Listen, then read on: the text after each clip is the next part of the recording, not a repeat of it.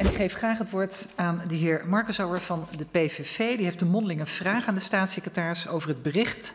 Staatssecretaris, onaanvaardbare situatie dreigt in asielopvang. Bedden zijn op. Het woord is aan de heer Markensauer, PVV.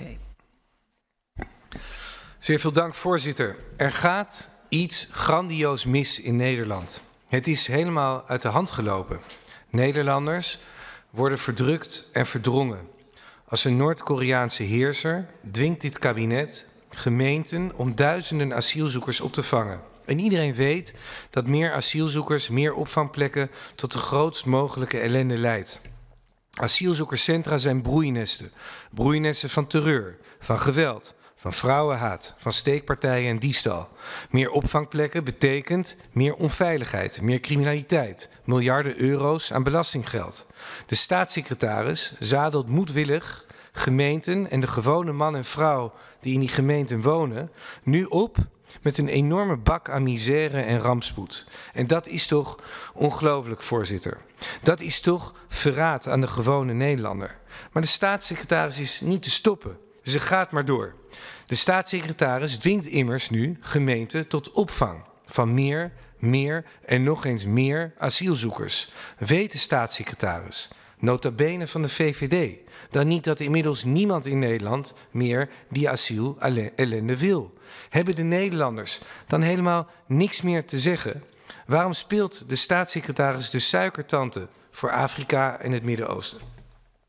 Dank u wel. Het woord is aan de staatssecretaris.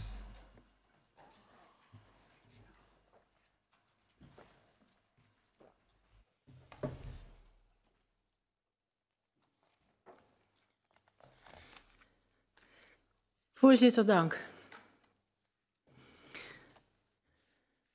De belangrijkste vraag die gesteld is door de heer Marcusot is: waarom, waarom doe ik dit?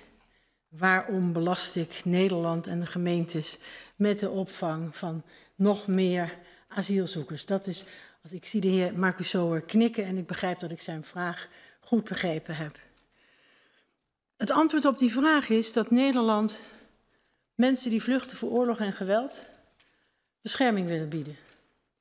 Die mensen komen naar Nederland, die vragen om asiel, die hebben bescherming nodig en degenen die onze bescherming verdienen, die krijgen dat ook.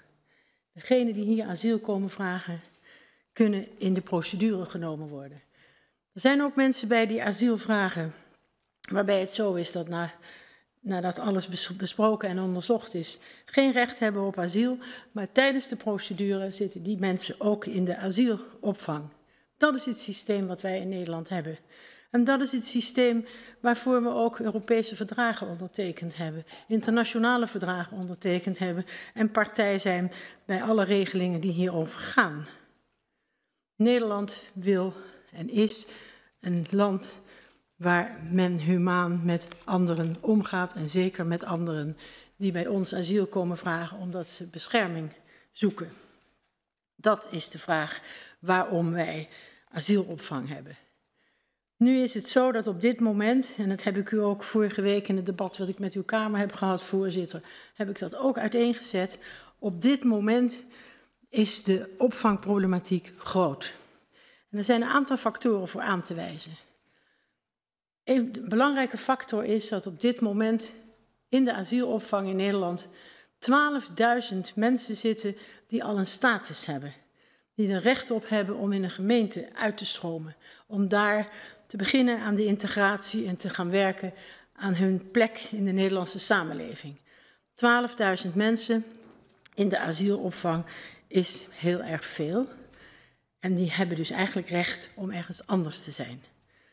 Daarnaast is het zo dat gedurende de COVID-periode, die we nog steeds niet achter ons hebben gelaten, maar van afgelopen van de zomer is dat opeens verlicht, is er een tijd lang, en reisbeperkingen zijn er geweest in de wereld, maar ook in Europa.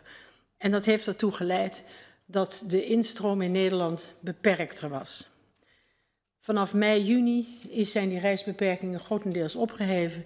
En dat betekende dat wij veel meer instroom hebben gekregen. Daarnaast is het zo, ook vanwege diezelfde reisbeperkingen die werden opgeheven, dat er veel meer mensen via nareis naar Nederland zijn gekomen, want die konden weer naar Nederland toe komen. Dat is gebeurd en daar zit nog een andere factor bij. Uh, het is zo dat degenen die geen plek krijgen in Nederland, waarvan het asielverzoek niet gehonoreerd wordt, die moeten terugkeren naar het land van herkomst.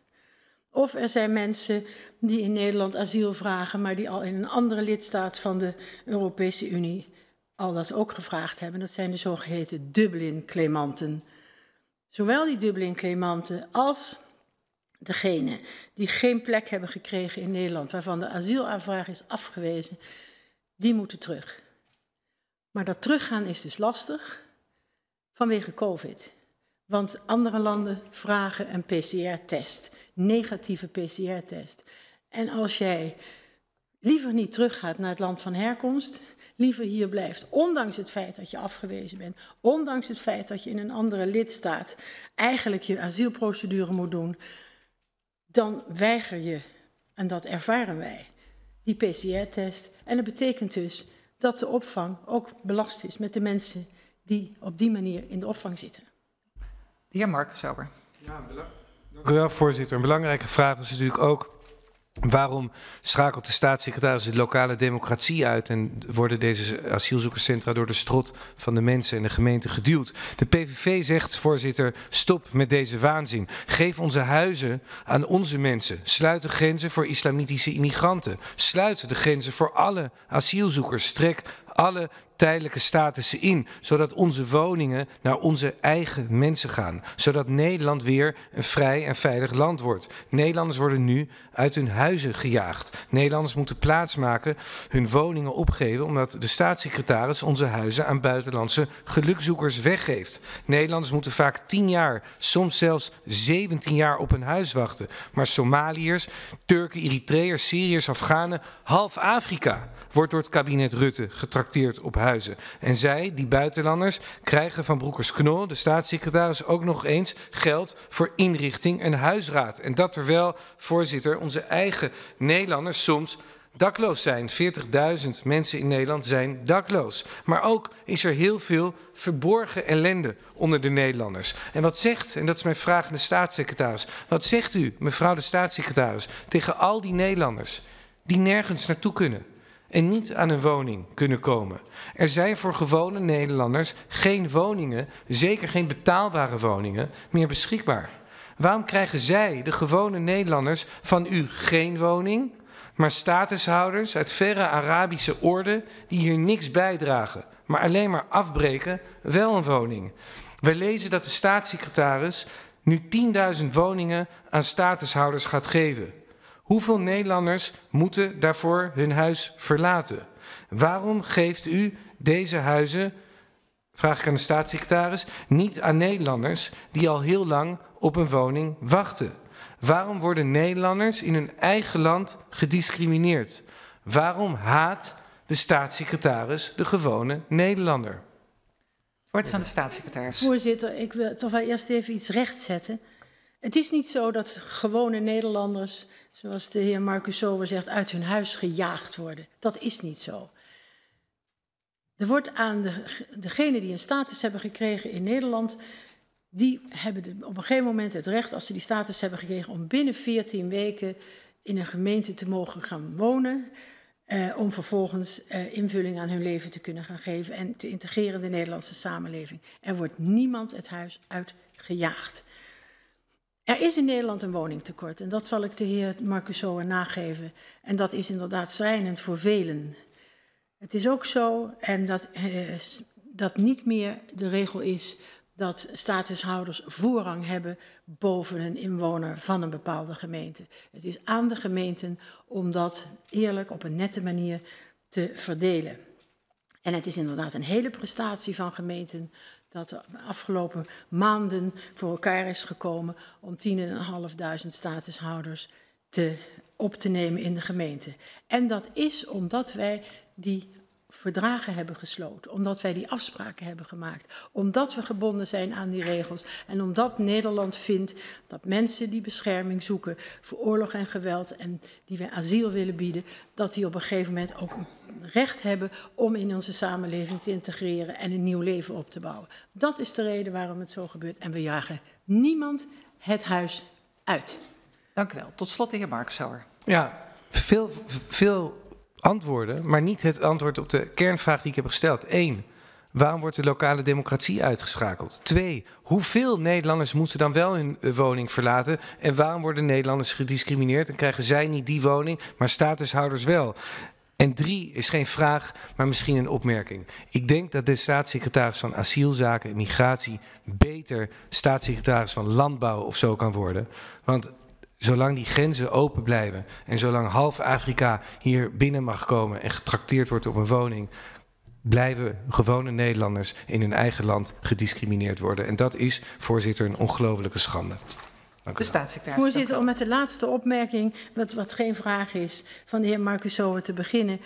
Ehm, stel dat ik uh, staatssecretaris van Landbouw zou zijn, dan zou er iemand anders asiel en migratie doen. En die, zit aan de, die heeft dezelfde verplichtingen als Nederland, die ik heb zojuist benoemd heb. De Europese verdragen, de internationale verdragen, om niet in de laatste plaats het vluchtelingenverdrag. Dus dat maakt niet uit. En wat betreft uh, de lokale democratie, ik uh, ben begonnen met te zeggen dat het wij als Nederland, en dat geldt voor alle Nederlandse overheden, of het nou het Rijk is, de gemeente of de provincie, alle Nederlandse overheden, Nederland als geheel is gebonden aan die verdragen. Die hebben we gesloten en die zijn hier goedgekeurd in deze Kamer. En die verplichtingen komen wij na. En we hebben nu acute nood. En die acute nood kunnen wij op dit moment alleen maar opvangen door deze inderdaad vervelende maatregel te nemen. Dat geef ik de heer Marcus graag toe. Maar we doen het om de veel ergere maatregel, namelijk de crisisnoodopvang, om die te voorkomen. Want crisisnoodopvang is voor alle partijen, voor de gemeente, de inwoners van gemeenten en zeker ook eh, voor asielzoekers, een vreselijke maatregel omdat er dan telkens maximaal een week, meestal 72 uur, maximaal een week ergens opvang is. En vervolgens moet men in de bus naar een andere gemeente voor de opvang. Enzovoort, enzovoort. En dat betekent ook in het geval er kinderen zijn, dat die kinderen ook geen onderwijs kunnen krijgen. En waar wij voor kiezen is nu eh, de aanwijzing vanwege de acute noodopvang om ervoor te zorgen dat er in een periode van drie, maximaal zes maanden stabiliteit is en er dus op een redelijk normale manier geleefd kan worden. Maar dat geldt ook voor de gemeentes en dat geldt ook voor de inwoners van de gemeente. Dank u wel.